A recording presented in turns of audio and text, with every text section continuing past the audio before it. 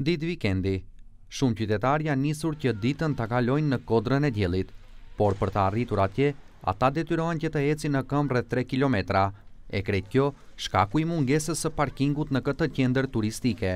A e vizitoni shpesh Kodrën e Diellit? Jem nervoz tani goditje në llafet.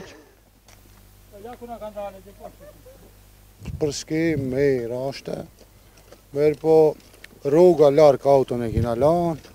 Mirë është, mirë, si po shoh mirë është, kom pa në televizor se janë në ku njerëzit, po panë përmirësu diçka mirë. Po në fundë, ma si teleferiku për po nojka. Po, po, veç parking jo, e lamë diku ma larg, një 3 kilometra, polici. Nga mungesa e parkingut në Kodrën e Diellit janë të shqetësuar edhe bizneset që funksionojnë në këtë qendër turistike. Tani derisa janë këto pushimet shkollore, vizitohet mjaft, edhe pse ka një një ngecje të mysafirëve vendorë për shkak mungesës parkingjeve të cilat i kemi.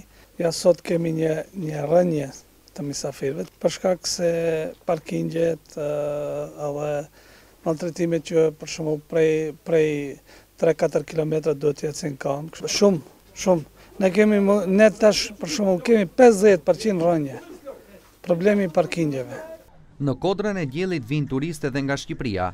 Një prej tyre thotë se pesë vjet rresht vjen këtu, por asnjëherë nuk ka parë ndonjë investim të ri.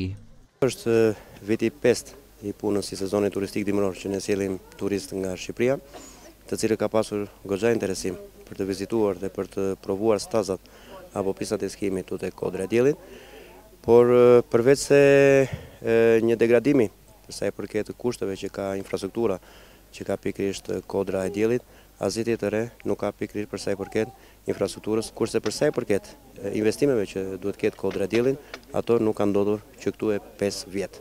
Për mua nuk ka ndryshuar, është si në fillim, që nga viti i parë deri në vitin e katërt. Janë shumë të shfrytëzueshme. Ka ka shumë për të për të shfrytëzuar. Janë disa terrene që neve mund të t'i frekuentojmë. si nga ana e skijimit, si nga ana e teleferikut. Kodra e Diellit edhe duhet të ketë i çik më shumë investime te te pjesa e e bareve, restoranteve që mund të jenë më afër skive. Ndryshe qendra turistike Kodra e Diellit ka një kapacitet prej njëqind e dhjetë kilometra katrorë, të cilët aktualisht po shfrytëzohen vetëm dymbëdhjetë kilometra, Para disa ditëve përmes protestave, qytetarët e Tetovës shprehën revoltën për kushte jo të mira në këtë qendër turistike.